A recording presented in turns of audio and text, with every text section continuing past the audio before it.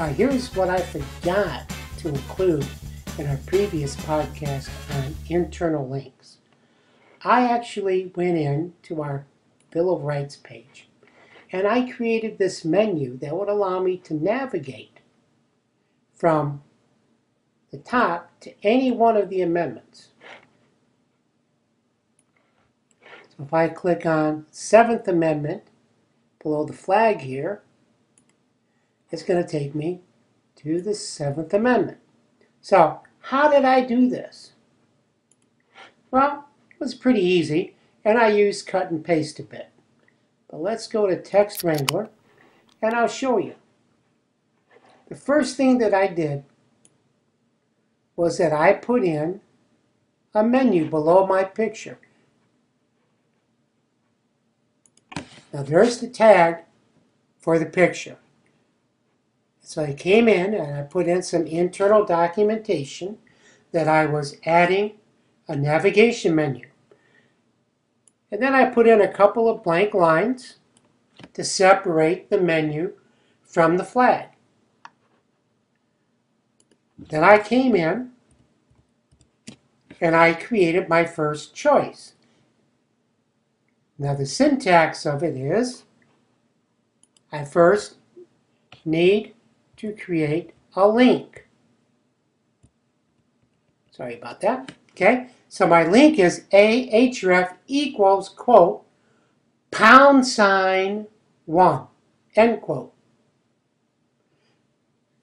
The text that I'm anchoring 1 to is First Amendment. And then I close my anchor and do a carriage return. Otherwise, I get all of these links all spread out across one line or several lines, but I'd have several choices per line. Be hard to read. Now, once I had that, I then came in and highlighted everything and did a cut and paste. And I pasted it nine times for the Second Amendment through the Tenth Amendment. And so I simply came in and I changed 1 to 2 and first to second and so on. So I've got the Third Amendment, Fourth, the Fifth, and so on. So that gives me my menu, but nowhere to go. So then I came down right above my First Amendment. And I created another anchor tag, this one with the name attribute, making sure that I use the same name as I used in my menu, ONE.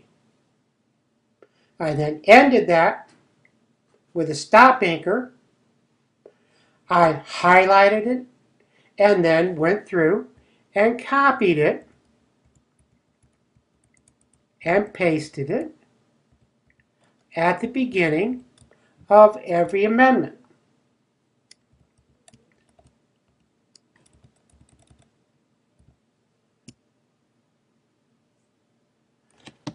Again, I changed the name from 1 to 2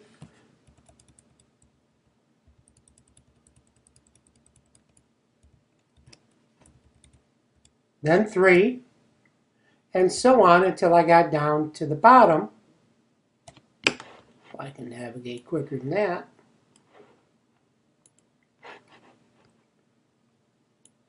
To 10. Now, the reason I used such short and simple names was so that I wouldn't forget what name I wanted to use. Maybe I'm not that smart after all. But my navigation works. Hope you enjoyed this, and I hope you learned something. You'll be doing some internal navigation. In fact, I want you in your assignment to do exactly what I've done here with the rights page.